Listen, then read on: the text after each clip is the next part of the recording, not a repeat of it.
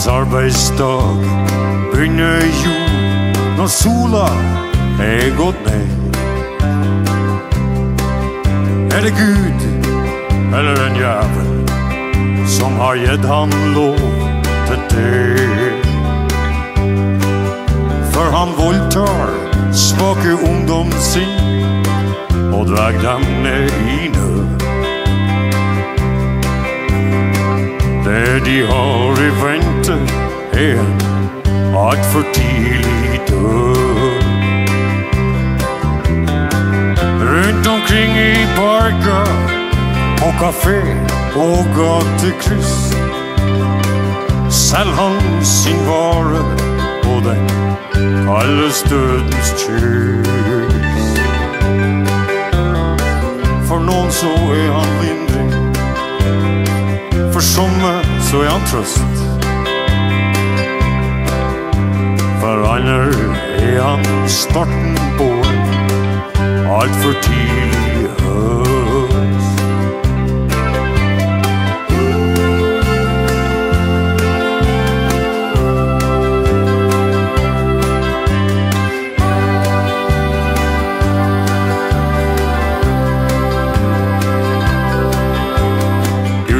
han vandre rundt omkring i skyggen av de små.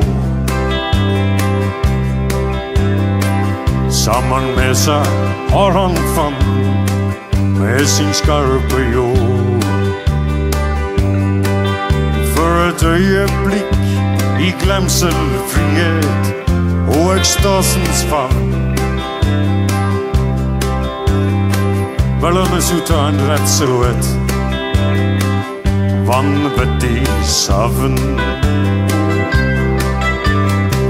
Ved hjelp av korsets leiesvenn, de reiser vekk en tur.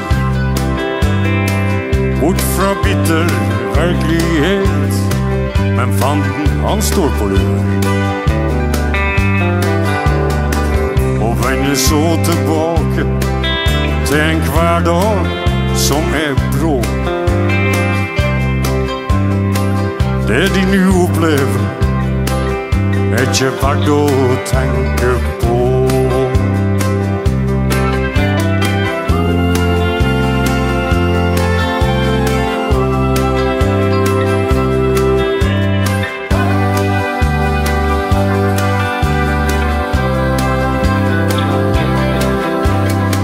Skånseløst han sprer si gift i elendighetens kor.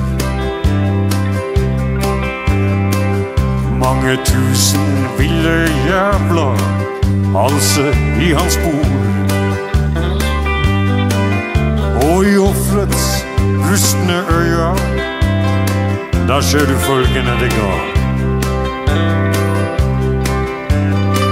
Mørkes makters fyrste skal nu danse på hans grav.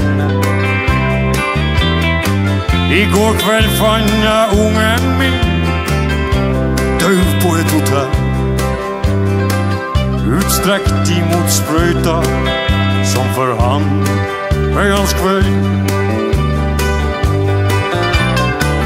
Det sa ei gråtkvalt mor, visa at vi forstod. Men det gjorde vi nok ei. For fanden skygge stå